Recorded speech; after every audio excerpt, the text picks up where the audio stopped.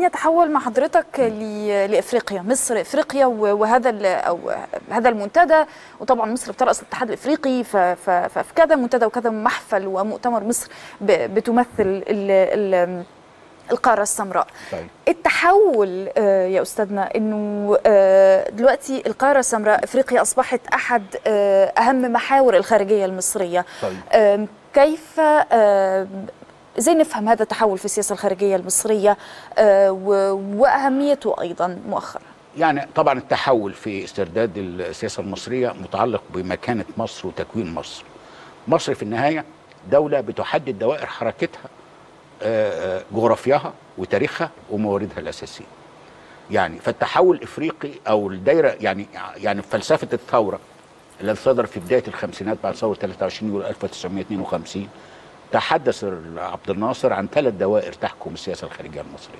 الدائرة العربية ودي دائرة انتماء قومي، الدائرة الإفريقية ودي دائرة حياة بالنسبة للمصريين بالنظر إلى منابع النيل في قلب أفريقيا، ثم الدائرة الإسلامية دائرة الأمم في العالم الإسلامي التي تجمعها روابط حضارية.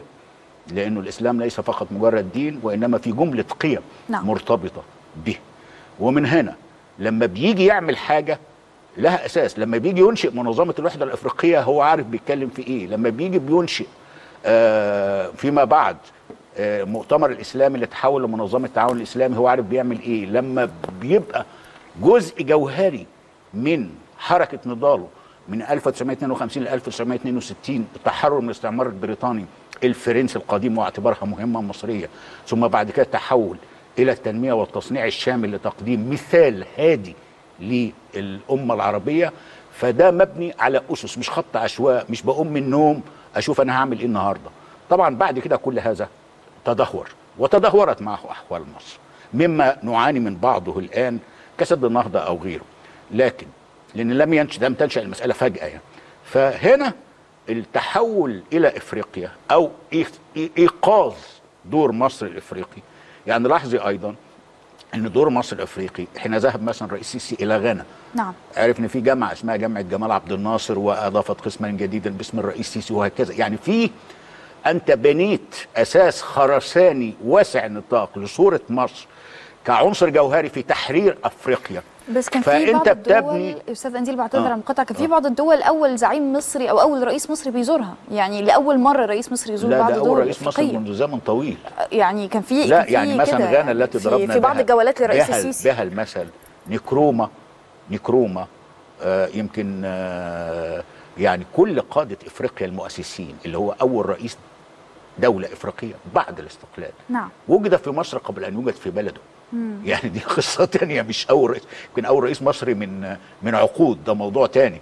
إنما آه، مصر هي العنصر المؤسس لأفريقيا المتحررة من الاستعمار القديم. نعم. طبعا وقعت أفريقيا فيما بعد في أشكال أخرى من الاستعمار زي الاستعمار الجديد أو أشكال من الدكتاتوريات أو أشكال من التعصب القبلي والتنازع الحدودي وقعت بعد كده. أنا بتكلم عن هذه الموجة الموجة الأولى. مصر عنصر مؤسس يعني مانديلا مثلا الذي يضرب به المثل في كل مكان. لما جاء القاهرة في بداية التسعينات قال قولته إن هو لما كان في السجن في جنوب أفريقيا كان يريد أن يشرئب بجسده من آه، شباك السجن لكي يرى جمال عبد الناصر في القاهرة. يعني يعني دي فكرة مختلفة. دي فكرة تأسيسية. مش إنه دي دول موجودة وإحنا عملنا علاقات معاها. أنت صنعت ال- المشهد في أوله كجزء من دفاع عن مصالحك أنت عن مصالحك. يعني مثلا كان شركة النصر للتص- للتصدير والاستيراد. لما كان في لها فروع في أفريقيا. هي لها عمل تجاري أساسي اللي هو توثيق الصلات وتوثيق علاقات التصدير لأفريقيا وإلى آخره. لكن كمان كان لها عمل تاني. طبعا أصبح متاحا للكلام فيه الآن. يعني كانت آه، مرتبطة بعمل المخابرات المصرية في أفريقيا. يعني فكرة الحفار مثلا اللي بعد 67 وتدمير الحفار الإسرائيلي في أبيجان. يعني أنت في النهاية كنت هناك. أنت انسحبت من هناك. ها؟ كان يعني إمتى الانسحاب يا أستاذ انزيل لا إحنا انسحبنا طبعا. على مراحل ولا؟ لا اللي حصل بالضبط يا أستاذة لما إنه مصر لما انسحبت من من نفسها ما بقاش الحاجات دي عازة. يعني كان في تعبئه شاملة بين 1967 ل 1973 نعم. استطاعت فيها مصر أن تطارد إسرائيل في أفريقيا بلدا بلدا. وتنتهي بهم إلى قطع العلاقات مع إسرائيل. إثيوبيا اللي إحنا بنتكلم دلوقتي على علاقتها مع إسرائيل قطعت علاقتها مع إسرائيل. لأنه كان كلمة مصر هي العليا واستطاعت مصر تعبئة كل الدول الإفريقية كجزء من الاندفاع العظيم إلى دور في التاريخ. بعد ذلك أمر طبيعي جدا إن أنت بعد ما عملت سلام وعملت علاقات مع إسرائيل وبتاع أنت قضيتك يعني انتهت. أنا ما بكلمش هنا إيه القضية اللي أنت يعني بتساهم بها في صناعة أو في عالم جديد. هي دي الفكرة. فأنت انسحبت من دور في مصر على طريقة انفتاح السداح مداح كما قال الكاتب الراحل العظيم أحمد بهاء الدين. وخلي بالك من اسكندرية حاج رشاد وحاجات كده. وشوية المصانع طبعا في أيام مبارك لموهم ورموهم وهكذا. أنت أنت جردت وجردت نفسك بنفسك من جانب قوى وطبقات متحالفة مع الأمريكان أو مع الإسرائيليين من بعد في تدمير الذاتي لمصر. كما لو كانت مصر ضربت بقنبلة نووية فهنا انت أو أنا قلت هذا الكلام أيام مبارك ان مصر بس مش محتاجة تغيير. مصر بلد عايزة بلد من أول وجديد. طبعا بعض جهود جبارة تجري الآن بعضها في الاتجاه الصحيح وبعضها مما يجب أن يراجع لكن الفكرة الأساسية في السياسة الخارجية الحقيقة تبدو الشيء المفكر به من جانب الإدارة المصرية الحالية. الشيء المفكر به من قبل. إحنا بنعمل كده ليه؟ إحنا يعني إحنا يعني لماذا؟ لماذا نتجه إلى روسيا؟ عشان كذا وكذا وكذا. لماذا نتجه إلى الصين؟ عشان كذا وكذا. لماذا نخفض علاقات التبعيه مع الأمريكان والصين؟ فالاتجاه إلى أفريقيا جاي من هذا الجانب. طبعا إحنا الآن نتيجة للانحدار الطويل. أنت في النهاية في في كل دور له تكلفة تكلفة اقتصادية. أنت نتيجة الوضع اللي أنت انتهيت إليه الانهيار الداخلي العظيم ده انت لم تعد تملك أو محتاج وقت عشان تملك تكلفة الدور في افريقيا لكن في مبادرات مما تستطيع زي مبادرة بس في فيروس. منافسة قوية جدا وفي منافسة. قوية على أفريقيا في مناسبة المنتدى الأفريقي الروسي أفريقيا هي مستقبل العالم نعم أفريقيا في يعني كتلة بشرية هائلة جدا وكتلة موارد طبيعية نادرة والعالم كله انت تعرفين مثلا إن آسيا نهضت نعم. في ال 30 40 سنة الأخيرة فوجد ناسها أفريقيا بالنسبة للقوى الكبرى على المسرح العالمي هتجد كل قوه كبرى عاملة منتدى للعلاقات مع أفريقيا صحيح من قريب كان الرئيس السيسي حاضر. التيكاد في اليابان نعم. في قبل كده المنتدى الصيني, الصيني وده بقاله. سنوات والصين نعم. طبعا أكبر عنصر اقتصاد فعال في أفريقيا نعم. الآن هتجدي إنه إن ألمانيا جسم الاتحاد الأوروبي فعلت من قبل وحضر أيضا الرئيس السيسي قبل أن يكون رئيس الاتحاد الأفريقي. وأنا عاوز أقول إن رئاسة الاتحاد الأفريقي عشان نبقى مدركين للحقائق رئاسة الاتحاد الأفريقي رئاسة دورية. نعم. كل بلد بتمسكها سنة يعني يعني يعني يعني إحنا في النهاية افترض إن السنة دي عدت والرئيس السيسي ما بقاش رئيس الاتحاد الأفريقي إنما التوجه الأفريقي مش مرتبط لا برئاسة الاتحاد الأفريقي ولا بغير رئاسة الاتحاد الأفريقي. ودور مصر ملوش علاقة برئاسة الاتحاد الأفريقي أيضا. طبعا ما أنا قصدي أقول ده عابر أكبر. نعم. أنت لما تجد مثلا الثلاث مشاهد الأساسية أو المشاهد الأساسية في العلاقات المصرية الروسية الآن. المنطقة الصناعيه الروسية في المنطقة الاقتصادية لقناة السويس ودي آه، جملة استثماراتها الأولية 50 مليار دولار وبدأ إعداد البنية التحتية لها بالفعل وفي عشرات من الشركات الروسية مشاركة فيها. ده أول نشاط من نوعه لروسيا خارج أراضيها. أول نشاط لأن روسيا في مقابل إنها قوة سلاح عظمى بتنافس أمريكا هي ليست قوة اقتصاد عظمى. يعني يعني يعني حاليا طبقا لترتيب الدول بالناتج المحلي الإجمالي. روسيا بتحتل المرتبة رقم آه، 12 بعد كوريا الجنوبية. نعم.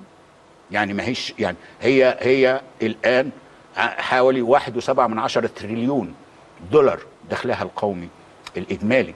بينما مثلا الصين معدية ال 14 تريليون دولار يعني أنت عندك آه. لكن هي قوة ناهضة. بتستعد لدور. هي تتمتع بموارد طبيعية هائلة من الغاز والبترول. نعم. آه هذا ليس امرا متوفرا في الصين ورغم ذلك صنعت الصين يعني اختراقها العظيم في التاريخ. آه هي كمان آه فهنا انت آه لما بيتكلم تقرير بلومبيرج الأخير مثلا عن الدول التي تصنع نمو العالمي طبعا هي ترجمت في الصحافة المصرية الحقيقة بالخطأ مش إن إحنا مش أكبر 20 دولة اقتصاد لا هو مش التقرير عن كده التقرير عن الدول. ملحوظة النمو اللي بتحقق معدلات نمو فبتسهم في كمية أو نسبة نمو الناتج الاقتصادي العالمي اللي هو حوالي 84 تريليون آه، دولار. بتسهم أكتر من غيرها. فبنجد مثلا إنه في العالم العربي ما فيش غير السعودية ومصر. نعم. والسعودية طبيعي عندها موارد طبيعية هائلة إنما آه، مصر بتسهم. هي رقم 10 من ال 20 دولة. بتجد إن روسيا رغم إنها رقم 12 في ترتيب الاقتصاد العالمي حاليا لكنها من الدول المساهمة عام 2024 كما كما مصر في النمو الاقتصادي العالمي. هي رقم خمسة. تخطت اليابان نفسها في قوة جديدة. الهند على سبيل المثال متخطية اليابان. آه وإندونيسيا متخطية. روسيا في نقطة النمو يا أستاذ أنديل. في في في عالم جديد نحن أدمنا أدمنا يعني زي واحد فقد ذاكرته يعني أو أو فقد يعني ما مش قادر يستوعب ال- الجديد.